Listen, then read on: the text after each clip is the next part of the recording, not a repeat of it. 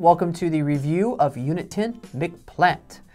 And so, to give you a quick summary of what we talked about earlier, is uh, McDonald's is, is partnering with the company Beyond Meat mm. to roll out uh, in 2021 their new plant-based uh, food menu. And whether that includes like plant-based meat substitute burgers and patties or more vegetarian options, uh, they didn't quite say, but they're you know planning on partnering with this company. And so this is done because Beyond Meat has lost a lot of uh, their clients or other companies they partnered with because of a lot of you know restaurants mm. going out of business or struggling during this pandemic. So they've had to halt, halt a lot of things. Mm. And so um, they're really hoping that this can do very well um, in McDonald's, and especially since in Asia, uh, you know, delivery is such a huge part of the business. Mm. Um, in, in, America, there's more foot traffic uh, through the stores, and so Beyond Meat is is feeling very optimistic about this, and you know, they hope that this can get them back on track to in increasing their revenue and growing the company. But you know, they should be careful that they don't count their chickens before they're hatched. Get back on track Get back on track. Count one's chickens before they're hatched. Count one's chickens before they're hatched.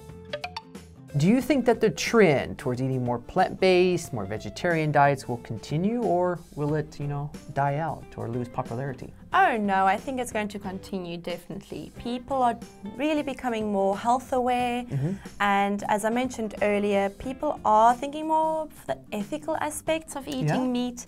I myself love animals, so I often feel quite guilty but I'm not going to go that far. but yeah. no, I think it's going to become more and more and more popular, mm. let's say, in the future. Yes. Yeah.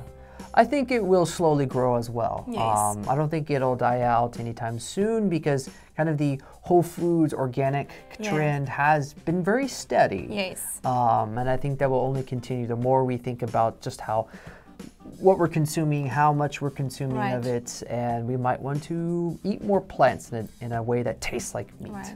And there's a, I may, wanted to mention an environmental factor too. Oh, yeah. There are specific diets that are better for the environment mm -hmm. and let's say even the ozone layer, which yeah. does not include meat, unfortunately.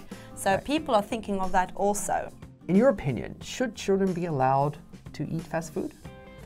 I think in moderation. Mm -hmm. um, if you keep them from eating anything ever, they might go crazy one day yeah. eat all of it all the time. Yes. So I think if you allow them, let's say maybe every two weeks, everyone can have a nice cheat meal, mm -hmm. something nice, then it's okay because they can try it. It's not kept, you know, they're not kept away from it and it's yeah. not this special thing.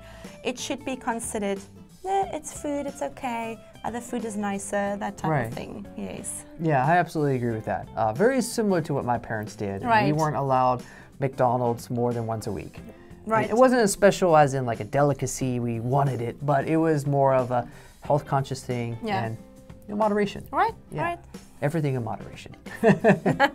All right, well, that's it for the review section, and we'll see you on the next one.